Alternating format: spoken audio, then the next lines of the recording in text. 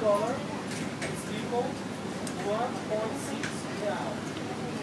My, my, my currency now. So one dollar is equal to 1.5. Let's, let's say that 1.5. You know? So if you receive uh, four hundred dollars, it will be my my my money my currency six hundred. You know?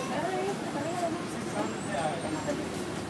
real. in Brazil, then that is what uh, personally you just have to talk about.